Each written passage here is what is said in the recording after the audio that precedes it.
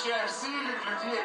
Это представители Федерации пауэрлифтинга, которая на протяжении многих лет является Саня. сильнейшей в Приморском крае.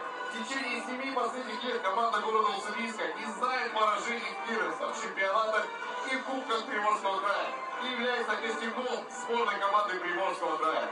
За 14 лет тренерами Федерации подготовлены два мастера спорта международного класса, 18 мастеров спорта России, около 200 спортсменов первого разряда и кандидатов в мастера спорта, около 600 спортсменов массовых разрядов.